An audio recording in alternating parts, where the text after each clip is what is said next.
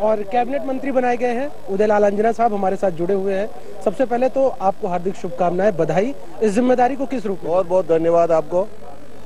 जिस रूप में जवाबदारी दी है उस जवाबदारी को निर्वहन पूरी तरीके से करेंगे। पार्टी की विचारधारा के अनुसार राजस्थान प्रदेश का विकास भी करेंगे। घोषणा पत्र में जो पार्टी ने वादा किया वो भी पूरा करेंगे और जनता के सुख दुख के भागीदार बनेंगे। कांग्रेस पार्टी के कद्दावर नेता है। एक बार कहीं ना कहीं एक बड़ा विश्वास जताया गया है चूँकि लोकसभा चुनाव बेहद करीब है।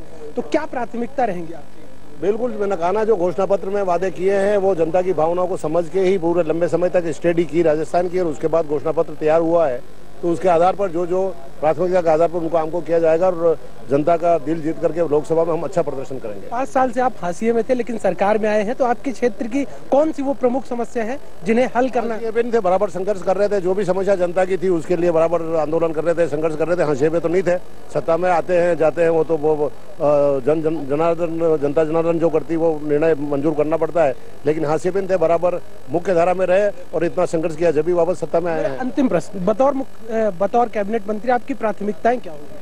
जो हमारे क्षेत्र की जो आवश्यकता होगी राजस्थान की जो आवश्यकता है कि जो जनता बताएगी उसके अनुसार उसका निराकरण करेंगे। ये थे उदय लालांजना जिनका साफ़ तौर पे कहना था कि जो भी क्षेत्र की समस्या है उनका हल करना ही इनकी प्राथमिकता होगी। कैमरा पर्सन विष्णु सिंह के साथ रूपेश मिश्रा इंडिया न्यूज़ जयपुर।